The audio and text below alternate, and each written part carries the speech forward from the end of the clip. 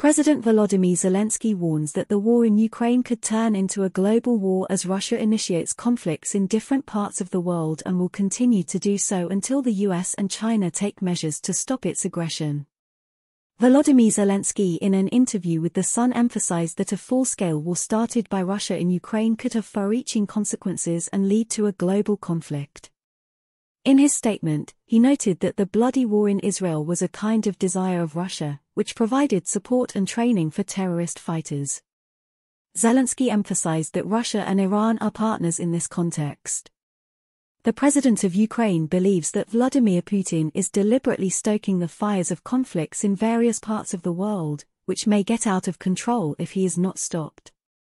Straight talk China can put more pressure on Russia.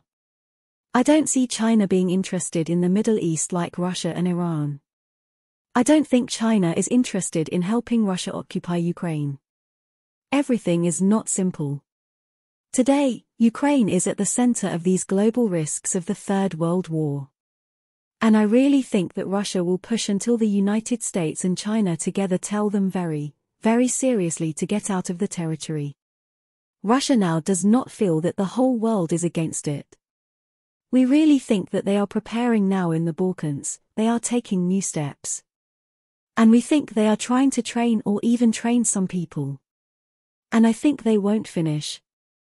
The idea is to start one conflict, start new fires.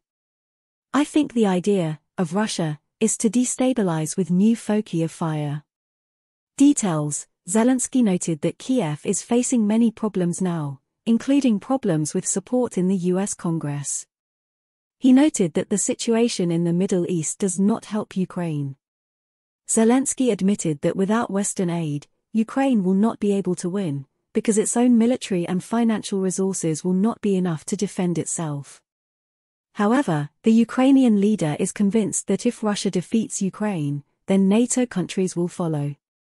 Direct speech, we are losing our people, not Europeans, Americans. I certainly don't want you to lose your soldiers. If they kill us, if they destroy us, they will occupy NATO countries very quickly, and after that you will withdraw your soldiers. If you don't transfer your soldiers to fight for NATO against Russia, then there will be no NATO.